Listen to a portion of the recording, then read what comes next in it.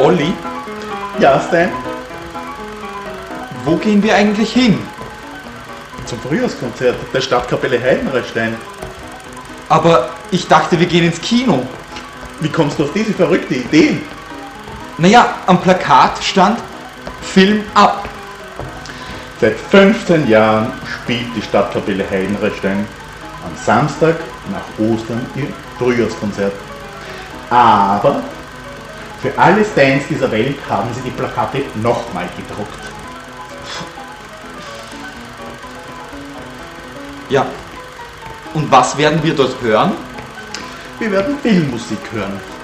Westernmusik, die glorreichen Sieben, der mit dem Wolf tanzt und Silverado. Zu meinem besonderen Vergnügen auch Mary Poppins.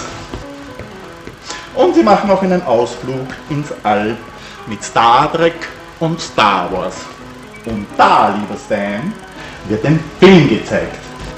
Nämlich mit Lego-Steinen. Kindisch. Das ist überhaupt nicht kindisch. Der Regisseur Jacob Oram hat sich sehr viel Mühe gegeben. Und das wird auch besonders den Gästen gefallen.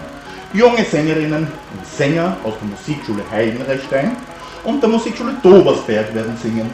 Und zum allerersten Mal wird auch das Schulorchester Tonart beim Frühjahrskonzert auftreten.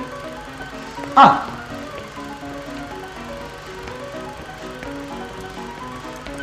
Aber wann ist das Konzert eigentlich? Am 26. April um 20 Uhr. Ja, und wo genau ist das Konzert? in der Magikhalle in Heidenreichstein.